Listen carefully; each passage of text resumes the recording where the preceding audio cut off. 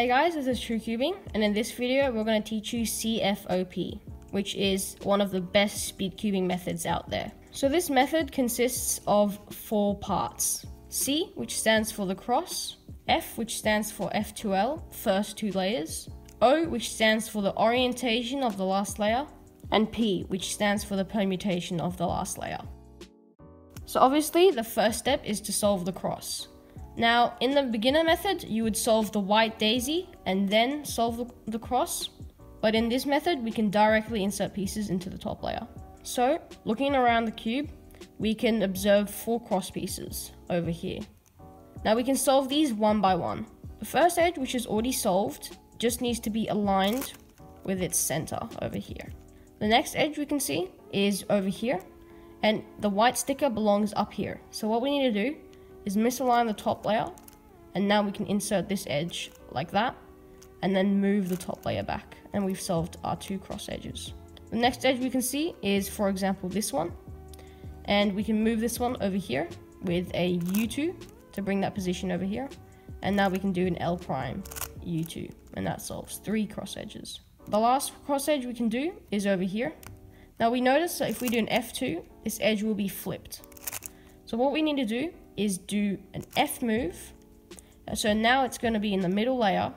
And now we can do what we did previously, which is misalign the top layer and then insert this white sticker until it's on the top and move it back. And now we've solved our cross.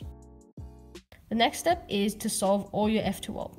So we notice we've got four F2L pairs all around the cube.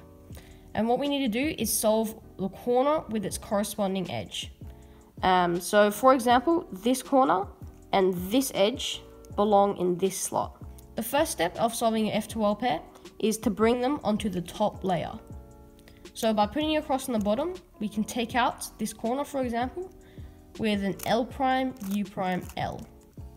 And we can do the same for this edge with an R, U prime, R prime. And now we've got uh, both our pieces onto on the top layer. Now notice that if you do an R, U, R prime, this corner gets put back into this slot, which is not what we want. The next step to solve an F2L pair is to split up this pair. So here our pair is connected. So what we can do is hide the corner, move this edge around the top layer anywhere except for over here because otherwise it will go into this back position when we bring this corner back up. Uh, so we can put it here and, so, and bring this corner back up. And now we're going to have one of three cases. The first case is when the white sticker is facing the top. So to deal with this case, what we need to do is align the edge with its corresponding center. So not like this, but like this. And now what we need to do is hide this edge away from the slot. So if it belongs into this slot, we need to bring this away. And now what we need to do is move its corresponding corner on top. So this corner needs to go over here on top of that pair. And now we bring that corner back down and we've paired up an F2L pair. Now, to insert it, all we need to do is move this out of the way and bring up this slot with an R and then solve it with a U prime, R prime. The next case you could get is when the white sticker is facing the side, but the corner and edge have the same color on top. So to deal with this case, we need to hide the corner so that the white sticker does not end up on the bottom. So this would not work but if we do this move, this white sticker will not be on the bottom. Next, we need to bring this edge up to the position so that when we bring up this corner again, it will pair up. So not over here, because again, that would go to the back. And over here, obviously, doesn't connect it. So we do that. And now we've got our pair, and we can just insert it.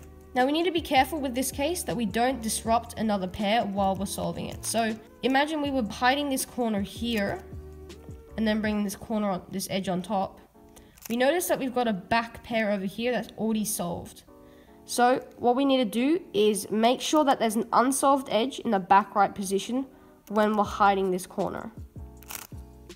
It's the same concept if we've got the mirrored case, um, but in this case we need to make sure that an unsolved slot is in the front right position when we're hiding the corner, bringing the edge on top and bringing it back down and now we can insert that pair.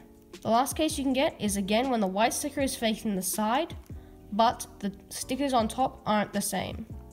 So what we need to do in this case is make sure that the pair looks like this and not like this when we're inserting it into this slot. So how I like to think of it is the sticker on the side that's not white needs to be able to match up to that in one move. So if we were in this position, this sticker cannot match up with this edge in one move. So once we've got it into this position, what we can do is solve it with an L prime, U prime, L. Now what this does is it matches up the pair at the back and then moves it into this slot and brings it back down. We can also get this case from the opposite side. Um, so in this case, this sticker can match up with this one in one move and it belongs into this slot. So we can do an R, U, R prime to solve this pair. So if you follow these three steps, taking out the edge or the corner onto the top layer, and then splitting them up, and then figuring out the case. And there are three types of cases. Then you'll be able to solve any F2L case around the cube. So here's a quick example of an F2L. So the first pair we can see is this, this edge and this corner. We can take out this corner and put it onto the top layer like this. So now they're already split up and we just need to recognize the case. This case we've got is when the white sticker is on the top. So remember how we deal with this case is we match up this edge, put it away from its slot, which is here, move the corner on top, and bring this back down. And now we can insert this pair with an R, U prime, R prime. Next case we have is this edge and this corner, for example. This edge is already on the top layer, but this corner isn't. So we can take it out like this. And now they're already split up. And now we've got the case where the the colors of the edges are different and the white sticker is on the side.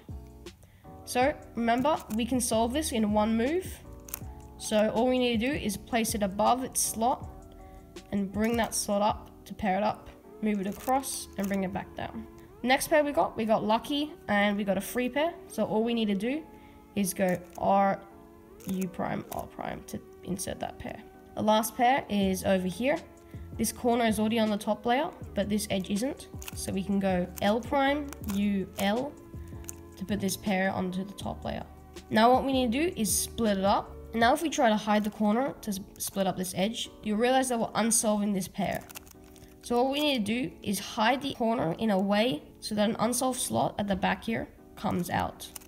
And now we've got this case, we match up the edge, hide the edge, bring the corner on top, bring it back down, and insert this edge.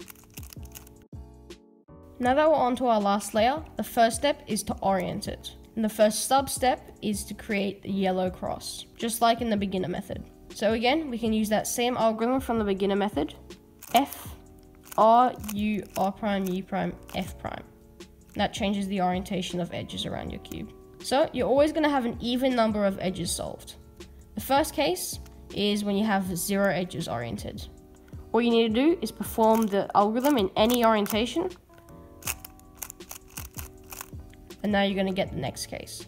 The next case is when you have an L and you place yourself so that the L is on the back left position and you perform that algorithm and now you'll have the next case. This last case is when you have a bar so you need to place yourself so that it's in a horizontal position, so not like this. Now you perform that algorithm.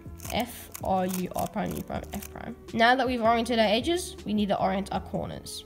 So for this, we're going to use the algorithm, which goes R, U, R prime, U prime, R, U2, R prime. And this is called the Sune. So this Sune orients all your corners when you're in this position. So sort of looks like a fish. So you hold the solved corner in the front left position and this this corner will be facing you. And when you've got this case, if you perform the Sune in this position, all your corners will be solved and you've oriented your last layer. However, it's not always that easy. You can get many other cases for your last layer. This case is nearly the same. It has that same fish shape, except the yellow sticker is not at the front, it's on the side. When you've got this case, you can just perform that Sune in this position, and now you'll have the real Sune. Again, you place yourself at the front right corner is solved. I've only shown you two cases, but there are many others out there. You just have to repeat that same Sune algorithm over and over again until it's solved. So this is again another one of them. Just perform that Sune. And now we have the fake Sune. And now we have the real Sune. I'll let you guys try it out for yourself and see if you can come up with the fastest way to solve each case with just the Sune algorithm. The last step in solving the Rubik's Cube with the CFOP method is to permute your last layer. So the way we do this is we look for the positioning of the corners. If we can see that there are two headlights, so this is when two corner stickers on the same side are matching, and you place yourself so that they're on the left. And you perform the algorithm which is called the T-perm. R, U, R prime, U prime, R prime, F, R2, U prime, R prime, U prime, R, U, R prime, F. And now you've solved all your corners. Another case you can get is when there are no headlights around the cube, so the corners need to be swapped diagonally. When you have this case, you can place yourself in any position and perform this algorithm. F, R, U, R prime, U prime, R, U, R prime, F, R, U, R prime, U prime, R prime, F, R, F prime. And now you've solved all your corners. Now the last step is to permute your edges. So what we're going to do is use this algorithm to cycle three edges around your top layer. R2, U, R, U, R prime, U prime, R prime, U prime, R prime, U, R prime. So again, you can have many different cases, but the main thing you need to look for is a bar. When you've got this solved bar, place it at the back and perform that algorithm. Again, you may need to repeat this algorithm twice, like in this case. And again.